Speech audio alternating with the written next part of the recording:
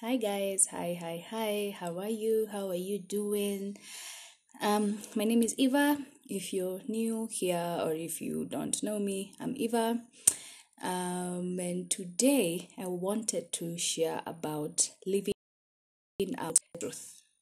And um, which truth am I talking about? This is the truth, which is the Word of God, which is the scripture that is the scriptures that are spirit filled, that were inspired by God.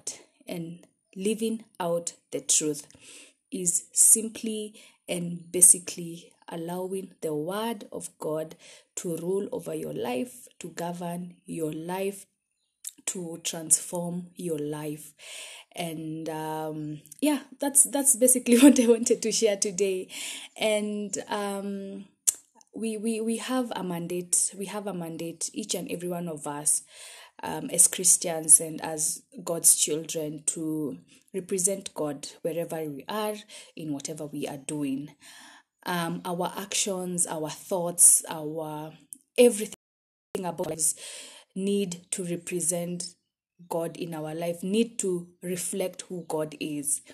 And I'm just like I'm just thinking of like a story, you know. Um, we can have a, a, a, a couple here, and um, well, we have the husband and the wife, and we have the husband maybe is violent um, in, in in the relationship or in the marriage. Um, but that happens at home. It doesn't happen outside. Nobody knows about this. And then uh, when we go outside or in your other life you are maybe a preacher. You are maybe um, um, a leader and uh, you have this other image that you portray outside there but when you come to your home you're violent to your kids or your wife um, you don't and you're a Christian and you say you're a Christian and you go to church and you believe in God, but you're not living out the truth of the Word of God. Um, another example, maybe as a lady, um, maybe you're adulterous. I don't know. Um, you're in a marriage, uh, but you're cheating and you, you know, you're out there. Um, you're not respecting the institution of marriage, but um, well, nobody knows. Your husband may not know. Um, yeah, so basically, living out the truth.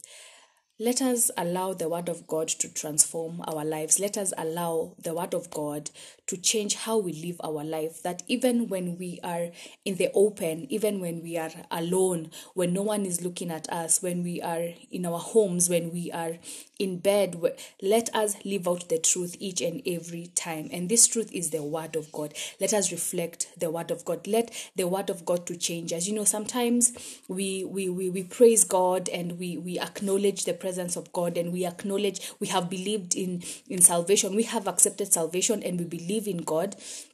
Uh, but our actions or we are not allowing the word of God to change us. So example you might be uh, you believe in God you have accepted uh, salvation but um, you're still lying and you know that lying is wrong. Or you're still stealing and you know stealing is wrong um, i'm just using like very simple examples. Um, well but the word of god tells us on the other hand do not steal you know um, do not lead others astray. Um,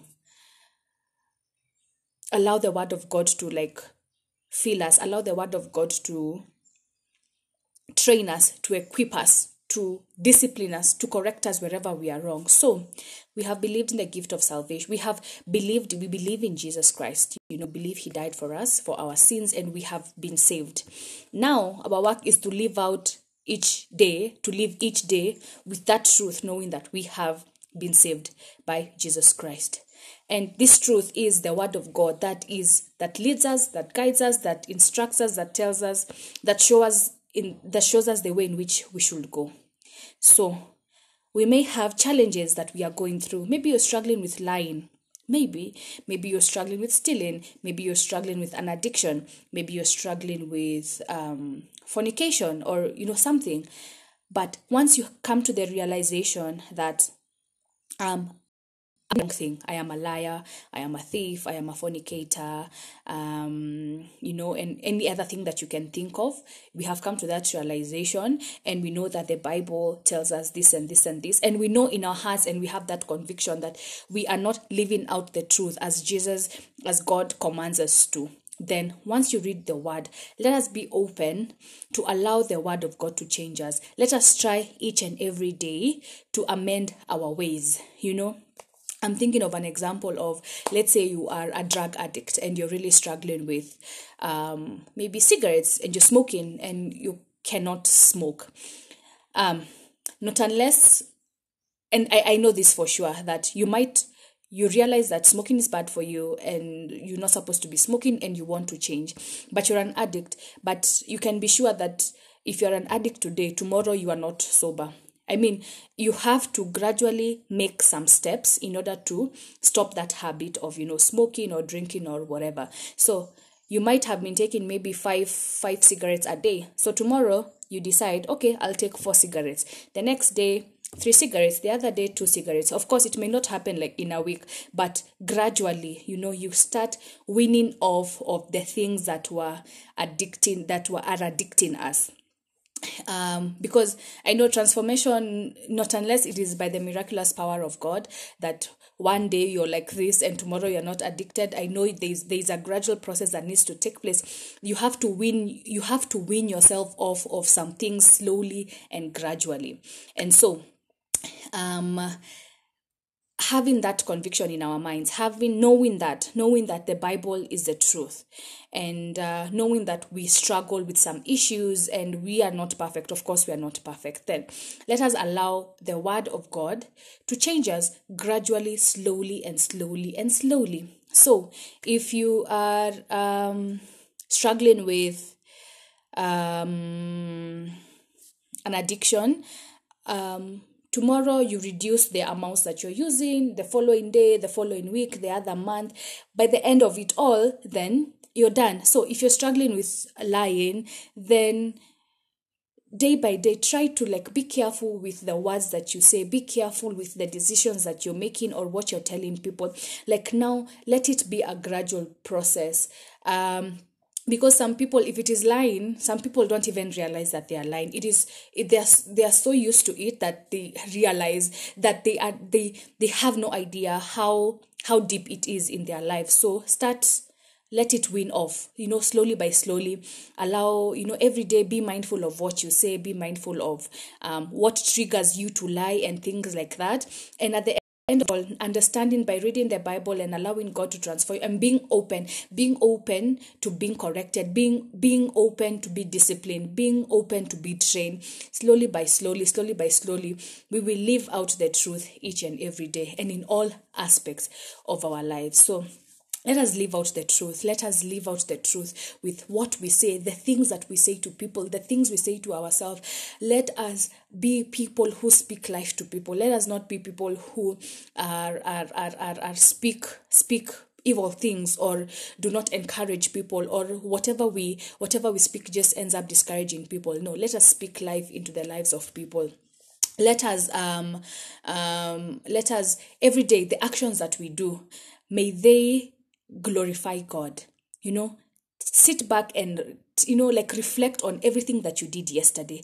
Just think about everything that you did yesterday. Um you know was it the right thing? Was it the wrong thing? How were your interactions with people? Did you say something that might have hurt somebody?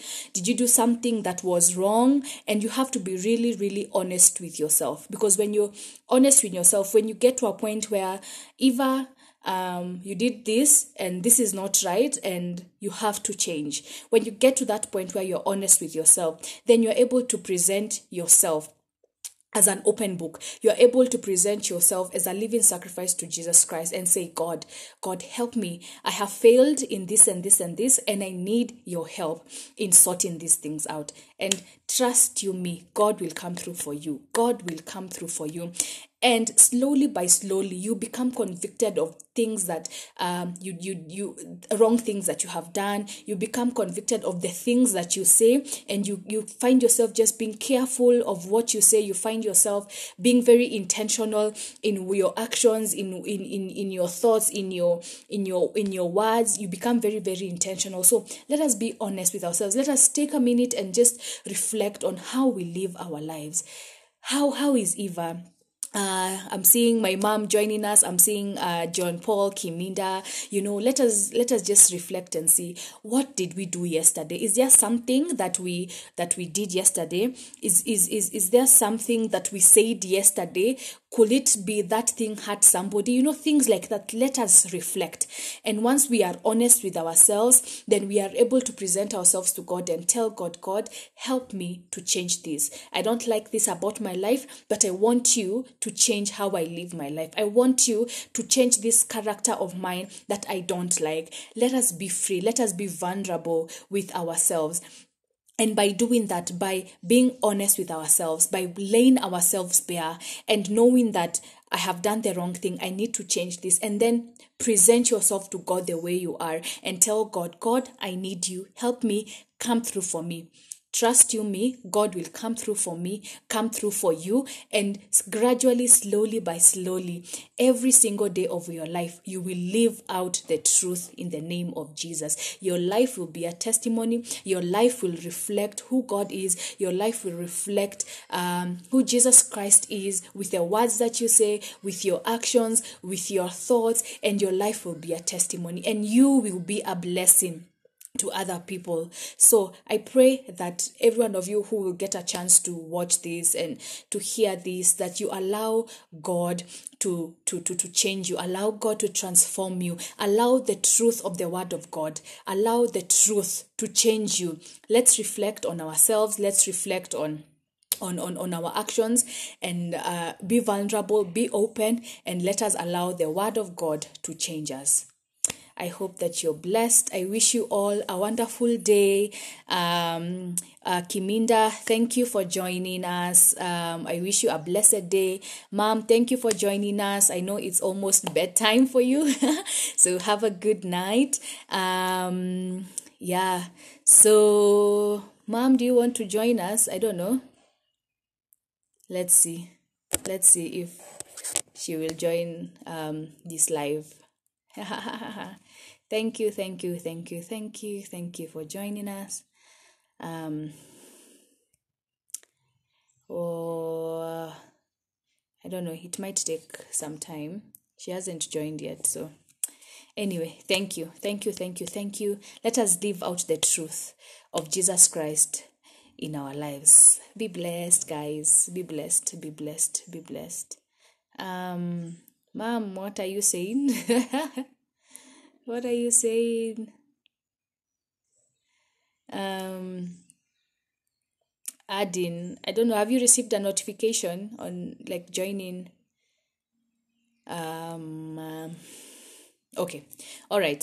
Um, let me finish this. I wish you all a lovely day, a blessed day. Stay safe. Uh, God is with you. May God protect you. May God preserve you in all that you do. May you live out the truth of Jesus Christ in the mighty name of his name. Be blessed. Bye bye.